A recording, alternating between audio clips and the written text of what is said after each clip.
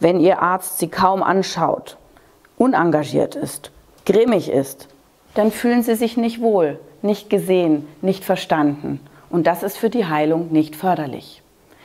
Was Kommunikation bedeutet in der besonderen Beziehung zwischen Arzt und Patient, rund um das gesprochene Wort, aber auch Mimik und Körpersprache, darüber habe ich ein Buch geschrieben.